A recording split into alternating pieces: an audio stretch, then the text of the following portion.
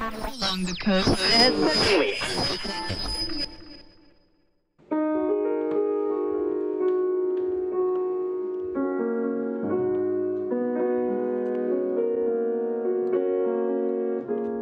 It started a long time ago, about the age of five. Um, I've been uh, doing this music thing for quite some time. The first one to really notice that I had the talent start with was my Lonnie J. White. He saw in me some things in which um, he felt like he needed to uh, let everybody else see. And, you know, he was very much responsible for opening up doors for me as a kid to get on stages in churches and different things like this to uh, expose, you know, myself and my talents. We were living just door to door from one another.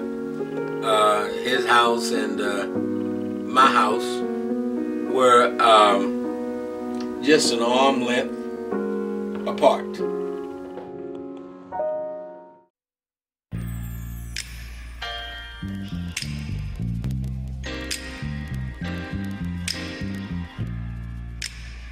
Brother Wendell was always have been an awesome young man, young boy, uh, very, very uh, mannerable, would always do what I'd asked him to do.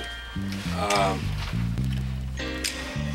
all of uh, Wendell's early life, he was a very different young man, a young child from uh, the other young children, his brothers and uh, even my boys. Um, Wendell wouldn't, you wouldn't find Wendell uh, like the other kids would be running up, running up and down Lee racing one another, uh, running and see, seeing who was the fastest. But you wouldn't find Wendell uh, in that group.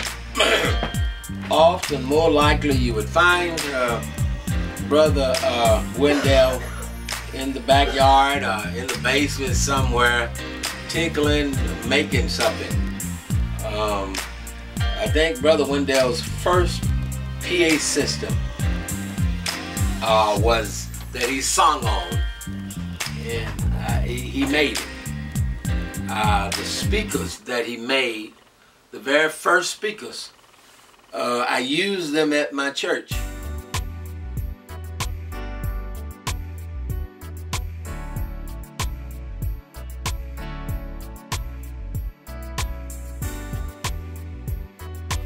Brother Wendell was quite, quite um, in, in, influential in making and putting putting things together.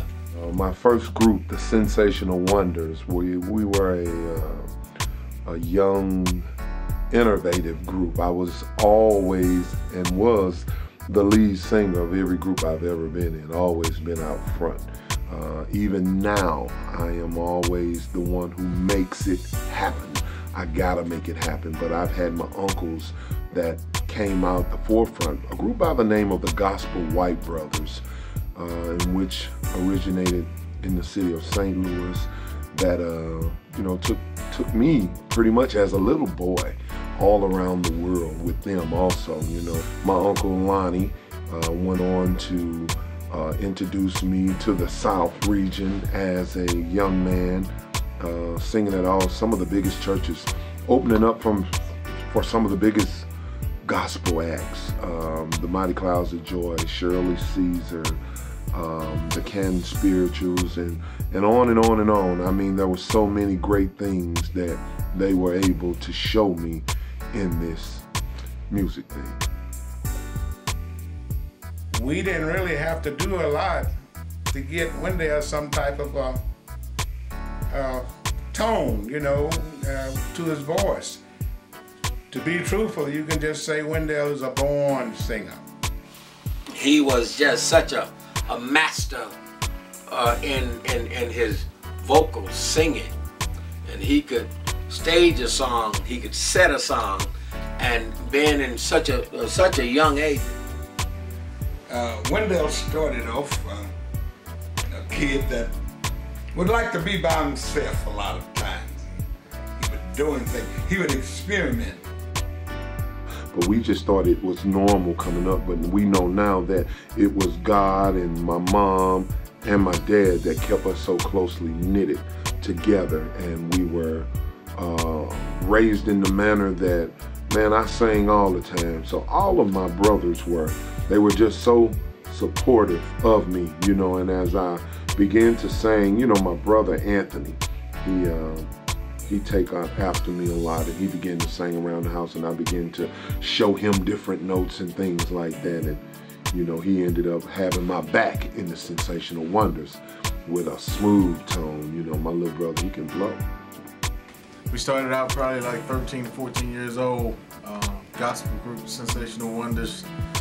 Um, when I think about it today I, I, can't even believe the type of programs we were on we were um, opening up for Mighty Clouds of Joy, Shirley Caesar, Five Blind Boys, the Williams Brothers. Um, my uncle, uh, Uncle Moselle had us on all those programs. Uh, it was like common nature for us to just be sitting in an auditorium with the Mighty Clouds of Joy, uh, getting ready to open up for those folks when they came to town. So uh, we've been singing a long time. Um, you know, obviously over the years, uh, we've gone our separate ways. Some people have gone out into the work world. But Win stay with the project. Um, and uh, if you if you definitely talk about real music, you definitely want to listen to some of Win's music. I mean, it's uh, it's uh, produced. Uh, the whole nine is done by him, and lot, I think a lot of people are missing out. Uh, looking to get back to real music, um, music you can believe in uh, you need to check out Wendell B. Well, the second set of Sensational Wonders, you know, consisted more of family, all family. Uh, when uh, when we begin to get older, the first set of Sensational Wonders, we kind of like uh, went our own way. But, you know, no one took that music thing as deep and as loving as I did. Music is in my mind, my heart, my body, my soul, and I, I give my best when I'm putting down a track, writing lyrics or whatever I did. I mean, from a child, I was so deep. See, I ran with my uncle, so I saw a lot of things at a young age. Maybe I shouldn't have saw, but you know how a young child is running around my, you know, grown folk. You know, they get the chance to hear and see things. But you know, my uncles wasn't no bad guy, so I didn't see anything bad. But the point is, is you know, I kind of knew how to cuss a little bit before, uh, you know, maybe I was supposed to cuss. But that wasn't only thing I picked up. I picked up knowledge. I was, I was the type of kid that I could hustle. You know, I cut grass, fix cars, or did whatever I needed to do in order to make whatever happen. So at the age of 14, 15, I cut so many lawns in the neighborhood that I saved up enough money to cut my first 45. And I was blessed to do it in a studio and with a legend in the St. Louis region by the name of Oliver Sain. Oliver Sain was the saxophone player for uh, Tina, Ike and Tina Turner, and he's a legend around the St. Louis area, all around the world really. Uh, but he's never got the just due, but he has helped so many like myself to be introduced to this music game on another level. So my first 45 was cut on Vanessa Records. I remember the day Oliver and myself uh, sat down to make this agreement on the 45 he told me, he said, boy, you sang so good, you just need a woman just to shut up and listen. You know, when you when, when you start singing for them girls, them girls make you hit some notes you didn't know you could hit. You heard? so my, my point is, is I started developing my vocal ability more and more and more. You know, I've always had this Luther Vandross sound. In, in school, they call me Luther. Uh, uh, this deep, yeah sound that that that everybody just moved about so much and uh, I, I, just took it and I developed it. And, you know, I took a little bit of Freddie Jackson, uh, a little bit of Luther Vandross, a little bit of Barry White, a little bit of Donny Hathaway, and I created Wendell B. You know, and this is how I came up with me. So my high school group, we got a chance to, man, we won every talent show in the city. We won it you know, because I had some awesome guys behind me, and I definitely uh, was already trained. Man, you know, I was so into my music. I already knew what I wanted to do for life, you know, and I always knew it was music. So in school, I would skip a couple of classes or so, you know, to go and prep to do my talent show later on that night or what have you. And so, you know, I wasn't really a a kid that loved school. You know, I did school and all of that, but I wanted to do what I'm doing today. And uh, so I would skip my last period class. Miss Reynolds, I'm sorry, Miss Reynolds, but I'm still doing my thing. And, uh, you know, I ended up having to go over to another high school, you know, because I didn't graduate on time. But I ain't ashamed of that because I kept on my grind and um, my class, I represent them right now all over the world. You know, I was missing two credits. So me and my cousin Don, in which we were at rehearsal in my group, The Sensational Wonders, the second set of Sensational Wonders, and uh, we were at rehearsal one night, and Don walked up to me and he said, "When, man, I got to do summer school." And I looked at him, I said, "Steve, me too." so, you know, people always thought we were playing. We said we were cousins in school and things like that. We actually didn't start off going to school together. I, I was at Central, Wayne was at Beaumont, and um, we were actually in a, um, our church singing group. You know, I played the drums, and Wayne was always the lead singer, of course.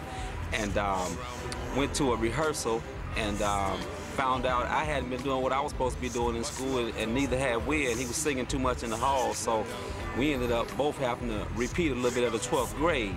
So we went over to Northwest and um, basically did a lot of singing over there and um, did some talent shows and did some things. But me and Win been together a long time, you know, um, been um, like best friends, you know, outside of just being cousins. Uh, we are blood cousins, but also just being um, being good good friends to each other, you know, going through thick and thin, different things that we had to do in life and um, just growing up together. Grew up in a church background, but also wanted to do a little bit of other things, you know, get out, party, and do other things. So, you know, definitely our mothers didn't understand that, and they wanted to uh, restrict us, but, you know, we, we, were able to do a few things that we wanted to do. Back in the beginning, in the late 70s, Wendell invited me down to Wesley House. And as we went down to Wesley House, we met up with a friend of ours from grade school named Brian Shannon. At that time, they had already been together and they was uh, singing the song called What's Your Name? I still remember like it was yesterday. And as they sang that song, I began to put the baritone on it. And when I put the baritone on it, we had harmony and our voices just gelled like it was made to sing together. We were not only singing in Beaumont, but we were singing all out in the county schools, and it was a lot of fun. I mean, a lot of enjoyment. Uh, we were probably considered one of the better groups in St. Louis, always going up against a lot of the older groups and just basically destroying them and for us to be so young as we were, and the other groups supposed to have been so much more mature than us, we were just walking right through them. Um, basically, uh, we had a lot of fun in the group. A lot of times we would go out to nightclubs that were, we wasn't supposed to be there. And um, one time we were at a nightclub singing and they were throwing money on the stage. And uh, just so happened I saw a five dollar bill come on the stage, and uh, Brian started at the same time while Wendell was singing, and we were all backing him up, and I stepped on the money, and we both stopped singing just to get get to the money. It was real funny. I remember the, the days of the Beaumont Blue Jackets versus the Bulldogs in football and basketball. Well, what people didn't also understand is that each one of those high schools also had talent shows. And we would match talents from school to school. And hands down, Wendell B always represented the, always represented uh, the uh, Blue Jackets, and he always won. Man, he was just a sensation, even back in the '70s to the days of uh, high school. And so from that point on, I've just followed his career. I've established we've got a great friendship. We're, we're you know we're like brothers. And all of my professional career as a radio personality, I've always been a Wendell B fan.